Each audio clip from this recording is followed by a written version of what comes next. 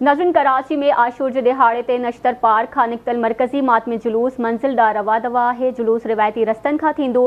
हुसैनिया, ईरानिया खरादर में नहर थींदो। मातमी जुलूस में वॾे अंग में औरत आज़ादार बि शिरकत कंदियूं। इन हवाले सां वीडियो लिंक ते मौजूदु आहे राजा असगर सुमरो जी राजा। अजी नाज़रीन, हज़ारनि जी तादाद में आज़ादार हुसैन अॼु पंहिंजे घरां निकिरी करे पंहिंजी अक़ीदत जो इज़हार करे रहिया आहिनि माँ तव्हांखे ॿुधाईंदो हलां त मर्दनि सां गॾोगॾु जेके औरतूं बि आहिनि, उहे बि वॾी अंग में जेको आहे त मरकज़ी मातमी जुलूस में शामिल आहिनि। अचो त औरतुनि सां ॻाल्हायूं था पिया, उन्हनि जा कहिड़ा वीचार आज के दिन जो मौला ने किया, हमें जो सिखाया, सबसे पहला तो नमाज़ है। सबको नमाज़ कायम करनी चाहिए, क्योंकि उन्होंने सजदे में सर दिया अपना।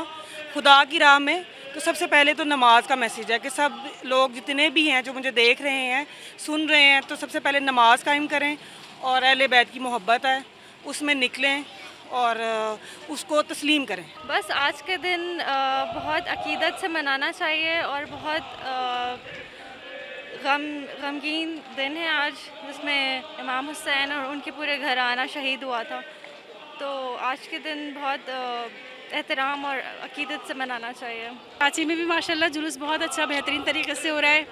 और ये तो इमाम हुसैन अलैहिस्सलाम की याद में हर साल ही निकाला जाता है। मज़लूम की हिमायत में निकले। मैं ये कहूँगी कि जितनी भी ख़वातीन आएँ, बाहिजाब आएँ, क्योंकि बीवी जैनब सलाम का पैगाम भी हमारे लिए यही है कि आप जो है ना हिजाब, बाहिजाब आएँ और जुलूस में जिस तरह आज़ादारी का हक़ है इस तरह आज़ादारी का हक़ अदा करें। बहुत बड़ा जुलूस होता है। और बहुत ऑर्गेनाइज होता है।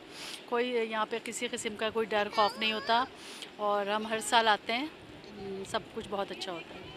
और बस अल्लाह इसी तरह ये आज़ादारी कायम दायम रहे। अजी नाज़रीन अवां मरकज़ी मातमी जलूस में शिरकत कंदड़ औरतुनि जूं ॻाल्हियूं ॿुधियूं संदन चवणु हो त हज़रत इमाम हुसैन जेको आहे त दीन मज़बूत करण लाइ नमाज़ जो बि पिणु दर्स ॾिनो आहे। आज़ादारी सां गॾोगॾु नमाज़ बि क़ाइमु करणु घुरिजे जी।